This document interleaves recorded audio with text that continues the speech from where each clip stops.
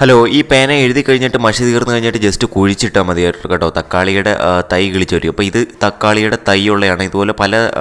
വിത്തുകളുള്ള പേനയുണ്ട് ഇതിൻ്റെ അടിവശം നോക്കിയാൽ കാണാൻ പറ്റും തക്കാളിയുടെ അരി എന്നത്തിരിക്കുന്നത് അപ്പോൾ ജസ്റ്റ് എഴുതി കഴിയുക കുഴിച്ച് ഇടുക വെള്ളം ഒഴിക്കുക കിളിച്ചു വരും